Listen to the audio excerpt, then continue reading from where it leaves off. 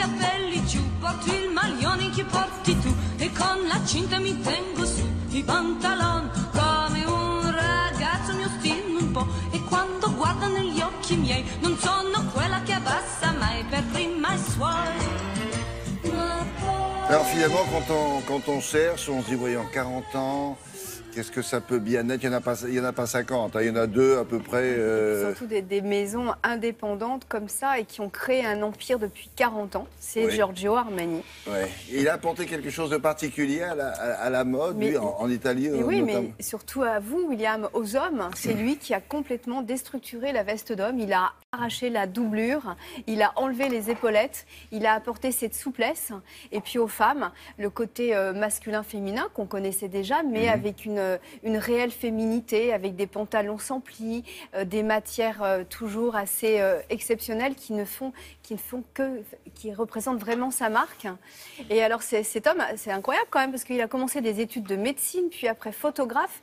Il a été étalagiste à la, dans un grand magasin italien, et puis ensuite, il est rentré chez Nino Cerruti. Et c'est là ah, qu'il a appris finalement tout l'art, euh, tout l'art euh, du, tailleur du, et surtout des tissus.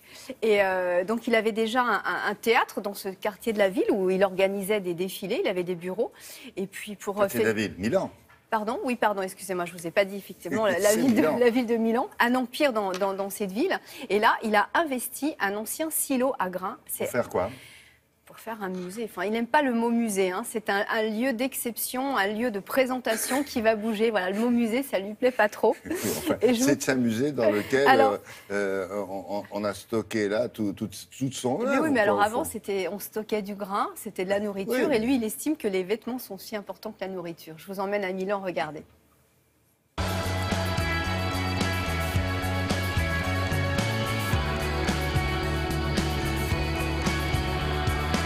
Pour célébrer ses 40 ans de mode, le couturier italien Giorgio Armani a fait vraiment les choses en grand. Il s'est offert un musée personnel au cœur du quartier Tortora, via Bergognone, où il avait déjà un théâtre et ses bureaux. Il a investi un ancien grenier à blé construit dans les années 50. Il a décidé de baptiser cet endroit Armani Silos car à l'origine, ce bâtiment était utilisé pour stocker des denrées alimentaires, des produits essentiels à la vie et pour lui, les vêtements sont tout aussi essentiels à la vie que la nourriture. Ce temple de la mode de 4500 m2 réunit 600 tenues et 200 accessoires.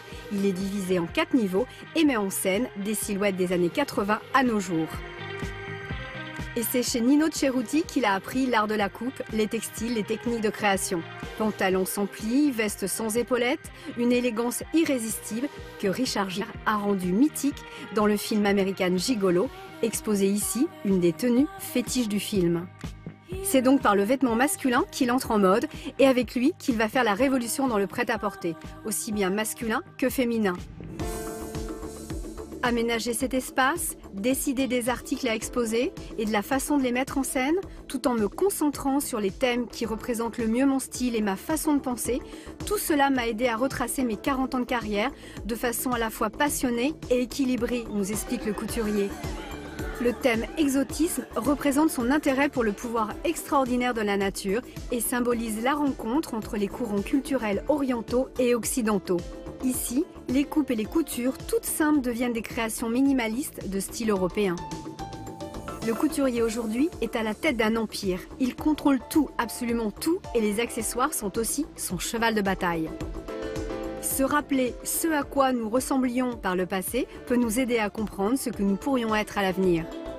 Le thème choix des couleurs est le reflet de ces longues expérimentations avec le rouge, le bleu sous toutes ses nuances et bien sûr le noir et blanc qui sortent en duo comme une carte de visite, couleur fétiche du couturier. À Hollywood, il dispose d'un vrai fan club. Judy Foster, Kate Blanchett, Julia Roberts sont ses ambassadrices de charme. Le red carpet, le principe qui consiste à habiller les stars lors des grandes cérémonies, c'est lui qui l'a inventé. Il a vraiment joué un rôle pionnier dans le rapprochement du milieu de la mode et du cinéma. Au fil de cette exposition, nous avons le sentiment que l'homme de mode ne se contente pas de nous surprendre, il cherche surtout à nous émerveiller. Peut-être plus connu aux États-Unis qu'en Europe? Non Alors c'est vrai qu'aux États-Unis, c'était le premier à faire le, ce qu'on appelle le red carpet.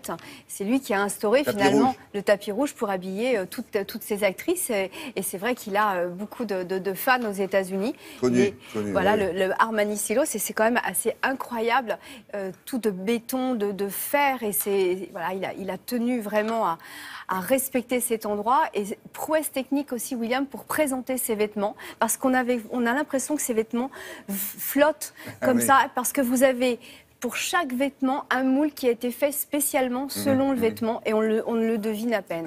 C'est ça, il, il n'est pas qu'un couturier, puisqu'il fait l'art de la maison aussi. Oui, il a des euh, hôtels aussi, euh, notamment à Dubaï. Voilà, c'est 12 euros et c'est ouvert du mercredi au dimanche. Merci beaucoup.